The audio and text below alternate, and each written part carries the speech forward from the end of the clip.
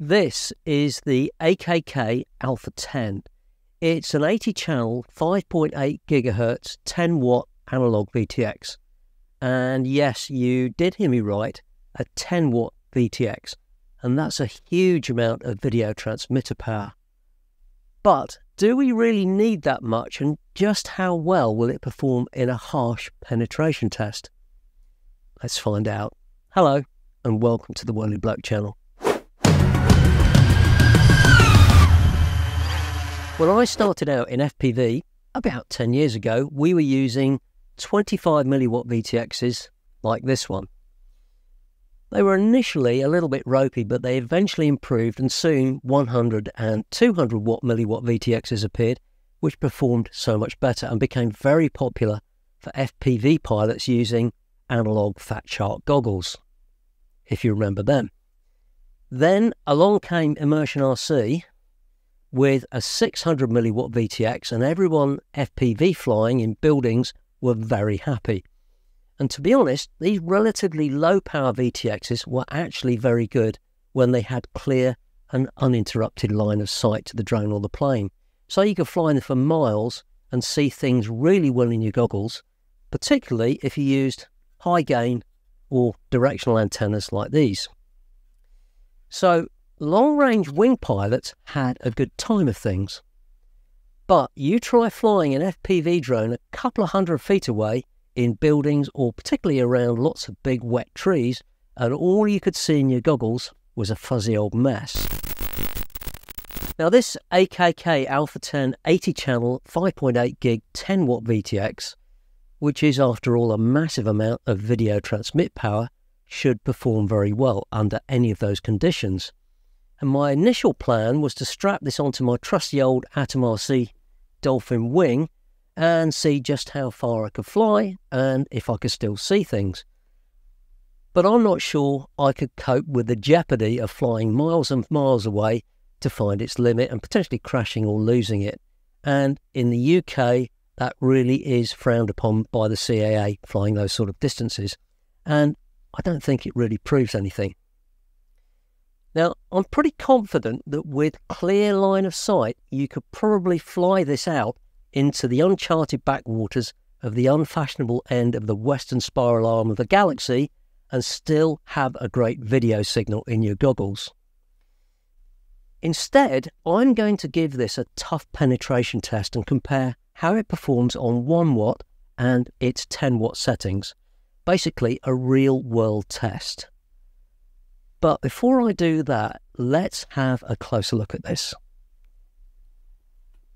Now, you might be forgiven for thinking this looks like a tiny graphics card for uh, Raspberry Pi or an Arduino or something.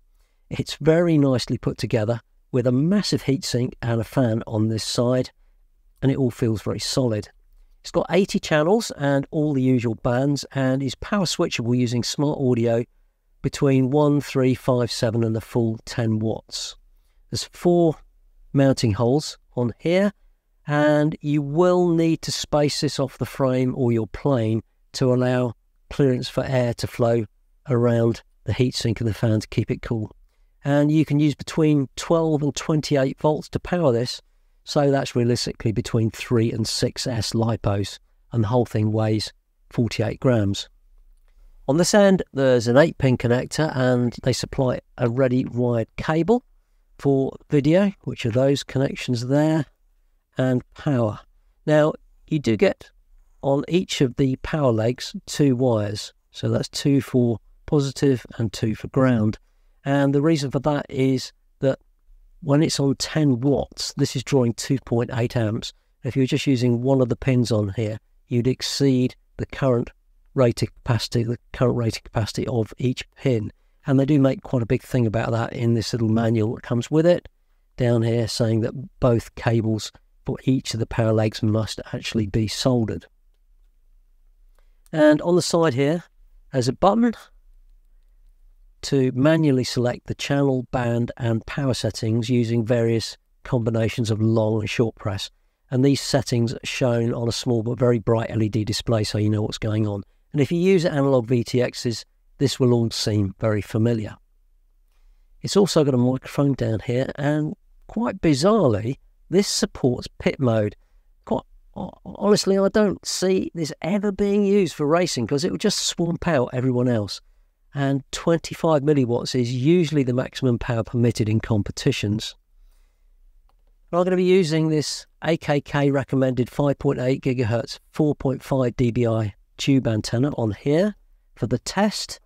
And I've got another one here that I'm going to be putting on my Sky Zones.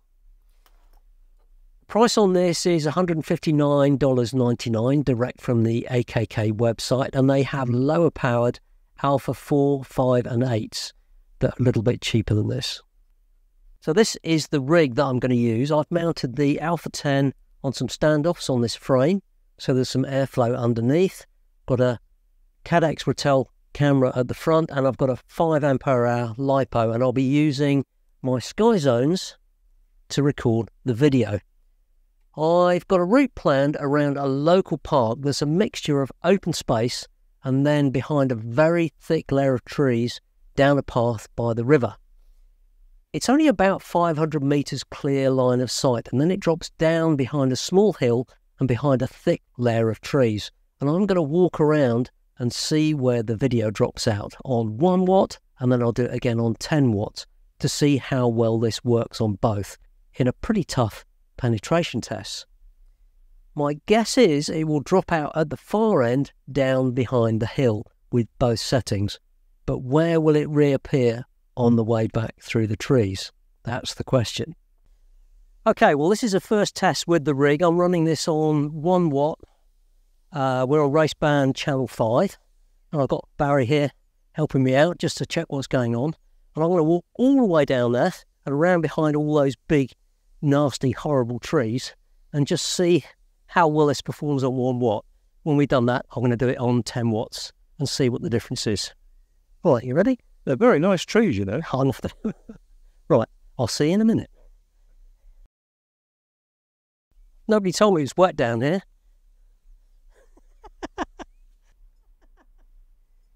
Right, well, here we go. It's actually quite a nice day out here for doing this test. And I'm just doing my speed walk. I've sped up bits of this in places so it's not quite so boring. Um, the image on this Caddx Ratel, it, it's actually pretty good. It's quite contrasty, if I'm honest, but we're not really here to look at the quality of the video image. It's to do with how soon it breaks up. I'm probably about 200 meters up here, maybe 250, coming up towards the top of the hill, and I'm expecting it to drop out about, yeah, there we go.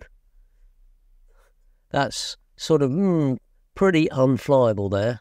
And coming back down along the path, yeah, there's no way I could have flown down here. And that's why doing this test by walking is so much less stressful than trying to fly it. And it's just starting to come back now. Hmm, still marginal whether that's flyable, cutting in and out. And that's probably about, let's see, 200 metres through the trees. So it's not bad on one watt. Uh, speed up again. And this is fine now. I could fly this. It's cutting in and out. This is all pretty good now.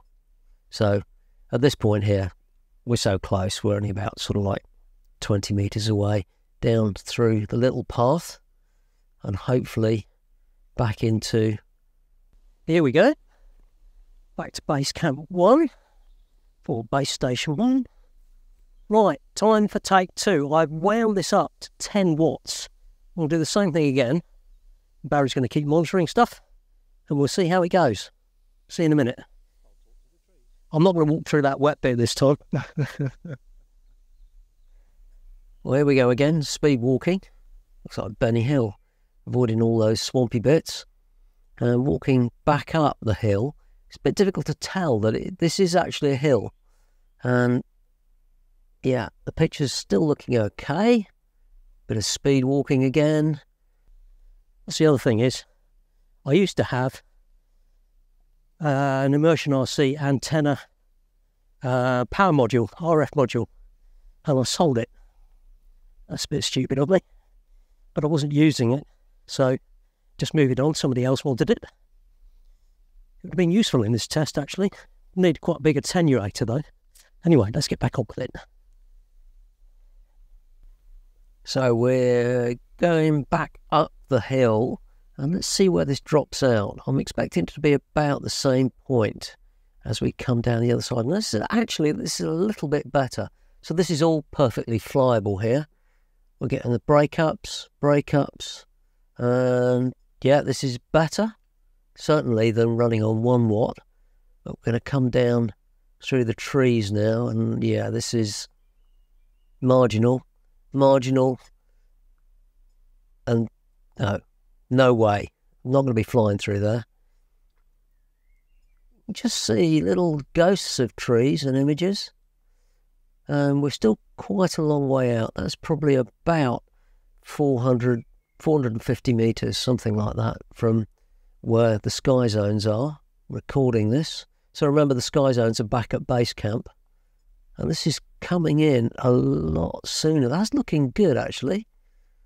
Got some bars, and wow, that's just punched in very quickly. That's very good. We've got some slight breakup. I don't know what those red bits are. We're doing speed up here. So that has come in and a lot quicker than it did when we were running on one watt. There's a few little breakups and things, but this is all completely flyable. So 10 watts does perform a lot better through those trees and does appear a lot sooner. But you have to bear in mind, this is using a lot of battery power on 10 watts, 2.8 amps and it's starting to get quite warm. I can feel it in my hand. I remember as I was walking around, the sides of the PCB were pretty warm. I'm coming back down to the turning in point. This is completely clear. This is absolutely perfect. Down through the trees again. There we go. We're back. I'm getting quite warm now. Did that seem any better? Was a long time. Yeah. And then you just went line, you know, the black line going left to right, fuzziness. Right. Where did I jump across before?